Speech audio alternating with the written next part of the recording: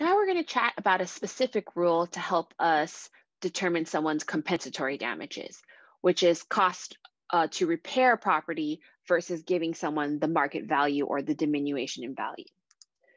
The case Terra Products versus Kraft helped us determine these rules, and the underlying claim here actually was both contracts and torts because we had an agreement to remedy injury to real property as well as an actual injury to real property.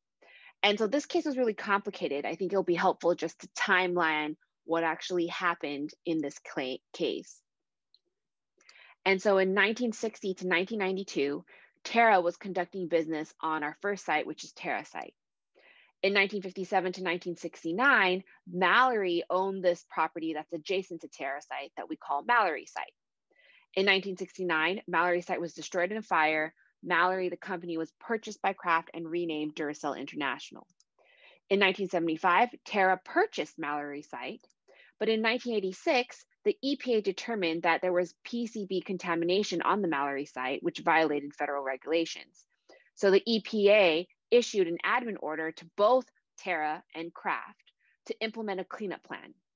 And so here Kraft agreed to pay for the cleanup, and Kraft being the original owner of Mallory site before it was purchased um, by Terra in 1975. And PCBs are these chemicals that pretty much can cause cancer and other health issues, so they're bad. Now, in 1988, Kraft discovers that Terra site has also been contaminated by the migration of the PBCs, the PCBs that were on Mallory site.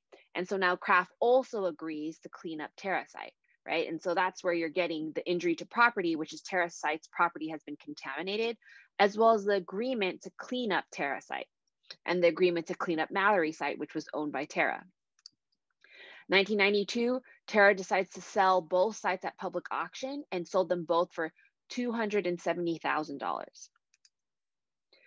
But Terra is now upset because the value of the sites was assessed at over 1.1 million without contamination, which meant Terra lost $830,000 in value by selling at public auction for only 270K. And so Terra sues Kraft for the 830K as well as 3 million plus co- the cost of a two week shutdown when it had to move its operations when there was the cleanup going on on Terra site. Kraft responds by counterclaiming claiming for 12.5 million, which is half the amount Kraft paid for cleanup that it claimed Terra was unjustly enriched, right? Because Kraft originally agreed to pay for everything. And so the court actually decided both of these claims suck, right? For Terra's claims, it made a judgment for Kraft. For Kraft's claims, it made a judgment for Terra. And so let's break down how the court got to these judgments, um, starting with what were the issues that the court had to address. The court had to determine was the property damage permanent or temporary to Mallory site and Terra site? And, you know, depending on whether it's permanent or temporary, what is the appropriate remedy if we determine it's temporary and the cost of repair doesn't actually fully compensate the plaintiff for its loss? The rules used to determine this decision, permanent, temporary, cost of repair, was on page 574. And first, let's just always start with that general rule, which is an appropriate measure of damages is generally defined as what is necessary to compensate fully the plaintiff. Again, you're seeing that same theme, making someone full again, but not giving them more than their actual loss. But our specific rules are whether we should give the cost of repair or diminution in value, which one would compensate the plaintiff fully. And so let's break down these two rule statements. On page 574, paragraph 2, you see that the cost of repair is awarded if the damage is temporary, and the diminution of value is awarded if the damage is permanent. But how do we determine when damage is temporary or permanent? Well, damage is temporary if repairing the property will return it to its former value before the injury, both real property and personal property. Permanent um, damage occurs when one, repairing the property will not return it to its former value before injury. So, cost of restoration, it's futile, it's never going to restore it or the cost of restoration exceeds the market value prior to injury. So yes, we can restore it to its formal value before the injury, but the cost it's what it's going to cost us to do that is more than it's actually worth. And so, how do you kind of determine what exceeds? Is well, the cost of repairs must be clearly disproportionate to the loss in value. So, if it exceeds it by $1, you'll probably still determine, well, we're going to go ahead and give them the cost to repair. Versus if the cost of restoration exceeds by 1 million, well, we're going to look more at the diminution in value.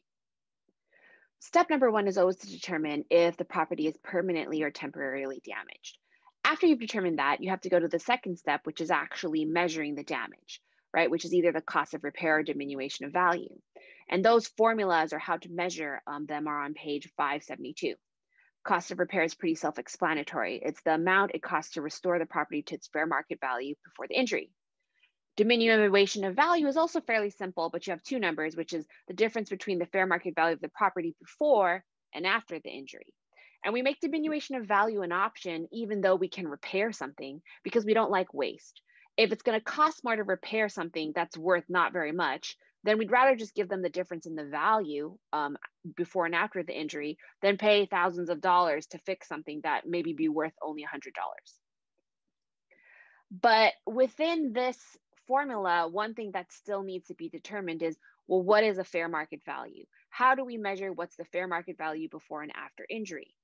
And on page 580 to 81, there are three ways to assess the value of property.